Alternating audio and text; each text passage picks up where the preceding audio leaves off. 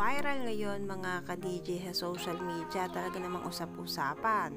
Ang matinding binulga ng dating asawa ni Megan Aguilar na isang Muslim. Kung saan mga ka-DJ alam kong ikakagulat nyo. Dati na palang naging Muslim itong si Megan Aguilar at dati na rin siyang naikasal ngunit hindi nagtagal ay naghiwalay din sila. Ang matinding dahilan na eto nga kaya naman mga ka-DJ panoorin natin ang video ito. Ano po gustong ah, linawin, no? Medyo marami pong mga kapatid na nag-PPM sa akin, no? Nagtatanong, no? Patungkol po ito sa issue ngayon ah, sa isang ah, kilalang ah, singer, artista, anak ng isa sa mga kilalang ah, singer icon na si Freddy Aguilar, no? So, yun po yung kanyang anak na si Megan Aguilar na kung saan eh, marami pong mga kapatid ang nagtatanong sa akin. Uh, sinesend po nila yung mga video no? Ah, mula kay ah, Senator Rapi Tulfo no? So nakarating po sa akin ito at ah, nalaman ko po mga kababayan mga kapatid na ngayon po ay ah, dumadanas po siya ng hindi maganda no? Lalo na po yung huli na sinend po sa akin na video ah, na sinasabi niya po doon ay panoorin na lang po natin no? So yan mga kapatid. No, nakita po natin na medyo dumaranas siya ng hindi magandang ah, kalagayan.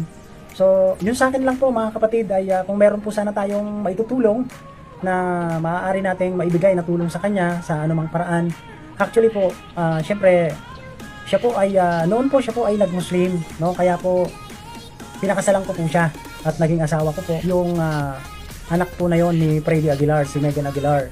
So 2019 po ay ah, naging mag-asawa po kami. No? So 2019 din sa hindi inaasahang pangyayari ay ah, nagkaroon kami ng problema. So kami po ay ah, naghiwalay, no? At ah, kinausap ko po yung kanyang tatay, no? Na ito po yung akin pong ah, nakita at naranasan po at naobserbahan po sa kanya.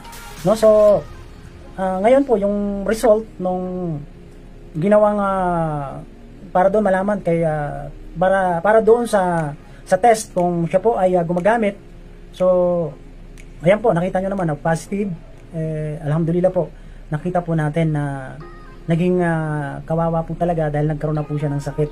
No, Ah, talagang nakita po natin talagang depressed na depressed po siya.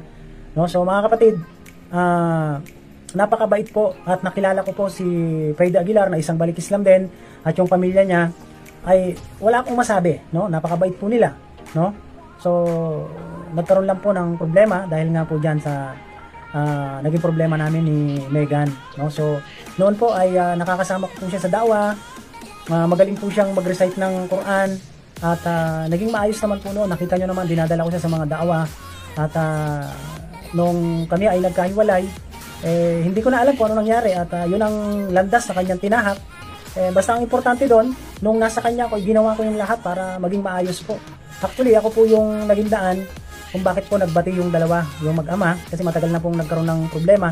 So, ah, napagbati ko po yung dalawa na yon. Napag, napag-usap ko kasi ba, napag-usap ko sila kasi bago kami ikasal, kinausap ko siya na bago bago tayo magpakasal, bago kita pakasalan, eh kinakailangan malaman ito ng tatay mo. At yung tatay mo, isang Muslim, yun ang magiging wali mo, magiging protector mo. So nagkaroon ng ano, video, pinag-video ko siya na humingi siya ng tawad at ito ay nakita naman ng kanyang ama na si Freddy Aguilar at simula noon naging maayos na sila at nung kasal namin, nandoon siya, kinasal po kami sa Napolcom, DILG, dyan po sa main, sa EDSA. So, kinasal po kami at alhamdulillah po, ah, naging maayos naman.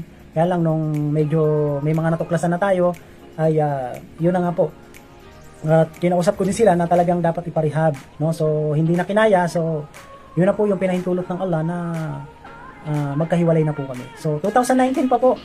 Matagal na po kaming nagkahiwalay ni Megan Aguilar. So ngayon, nalulungkot po ako kasi yun po yung naging buhay niya. Hindi ko na po alam kung anong nangyari sa kanya. Ah, hindi na naman ulit sila nagkasundo.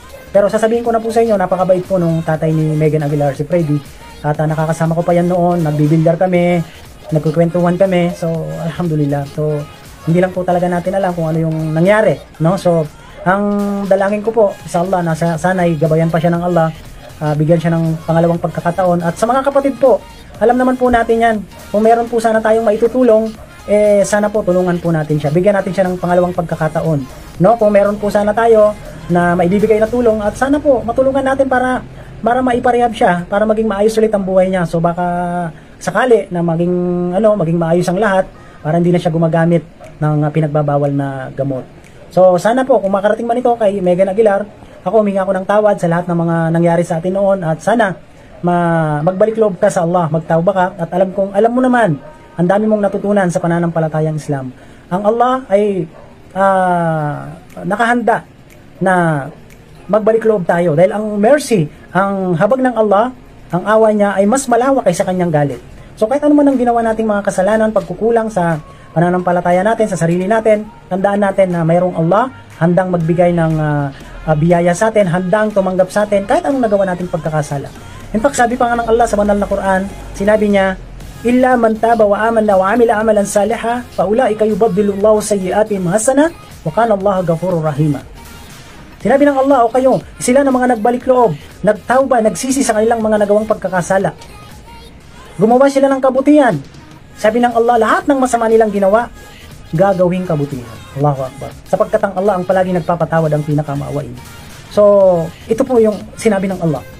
Gumawa tayo ng maraming kasalanan. Kung nagbalik loob tayo sa Kanya, nagsisi tayo sa mga nagawa nating pagkakasala. Ang gagawin niya sa mga, sa mga nagawa nating pagkakasala, gagawin niya itong kabutihan. Allahu Akbar. Dahil sa awa sa atin ng Allah. Sinabi pa ng Allah, Qul ya ibadi alladhina asrafu ala anfusihim la takhnatu min rahmatillah. Inna Allah yaghfiru dhunuba jami'a innahu huwal ghafurur rahim.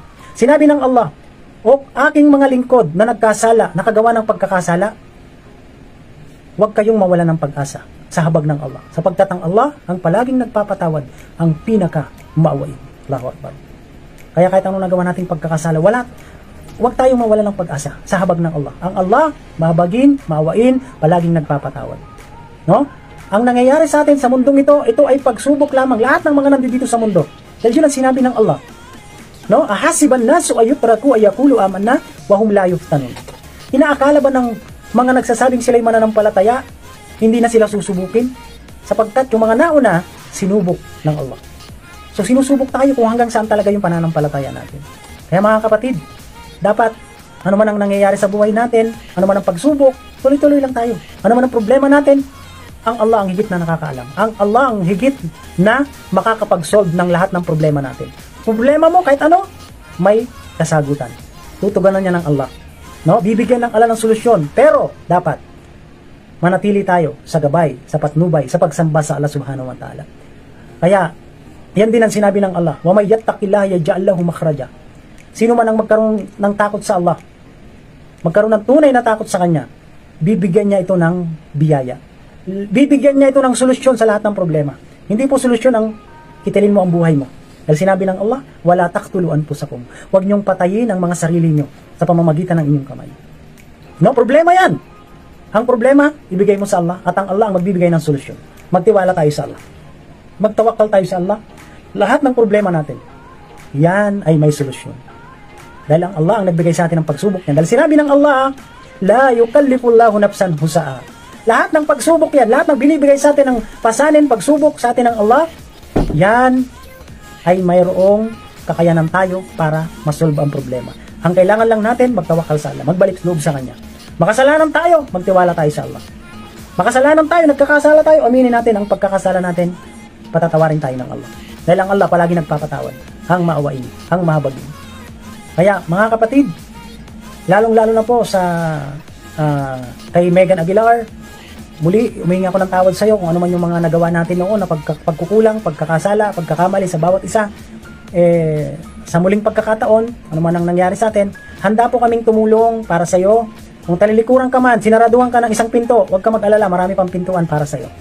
Inshallah, yun po yung panawagan ko sa aking pong mga kapatid sa pananampalatayang Islam. Kung sino man po ang gustong tumulong, sana po magsama-sama tayo tulungan natin ang isang ah, kapatid natin o kung siya man ay ah, ah, tumalikod sa Islam, eh, inshallah po, bahala na po ang Allah subhanahu wa ta'ala doon at sana po matulungan po natin siya, inshallah po mga kapatid.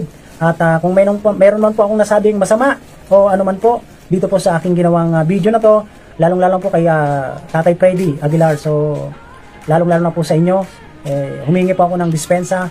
Ah, pasensya po, ah, patawarin niyo po ako ano man po ang nagawa ko. Pero noon pa man po, naayos na po yung problema na yon. No? So, alhamdulillah po, naway ah, patawarin tayo ng Allah at tanggapin ang mabubuting gawa natin dito sa mundo at naway pagtagumpayin tayo at lahat masolve ang lahat ng problema natin. No? Ang mundong ito, dahil sinabi ng Propeta Muhammad Salam, at dunya si jinul mu'min wa jannatul kafir. Ang mundo na to ay paraiso ng mga hindi mananampalataya. At ang mundo na to ay pulungan ng mga mananampalataya. Kaya yun po ang aral po sa Islam